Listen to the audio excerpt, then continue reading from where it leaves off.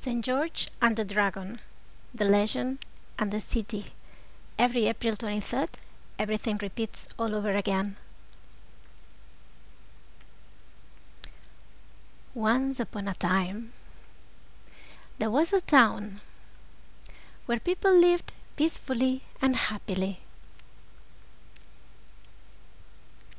But one day, an evil dragon appeared at the gate of the city walls,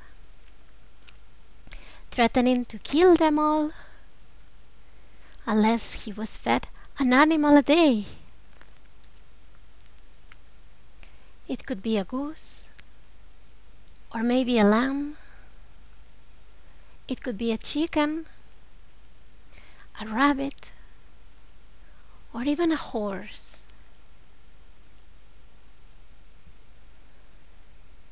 And so days went by until no animals were left.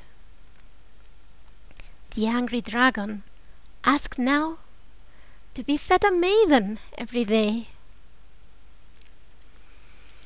And so every day a girl had to be chosen, and their bones and skulls piled up in the dragon's cave. Until one day the turn of the princess came. And despite people's tears, she left them behind and walked to the dragon's cave. But all of a sudden, out of the woods, a white knight appeared. St. George was his name. Attacking the dragon, he fought and fought and fought restlessly all day long. And when the moon started rising, his sword sank in the dragon's spine. The dragon had been killed. From the blood of the dragon, a rose was born, and St. George gave it to the princess as a symbol of his love.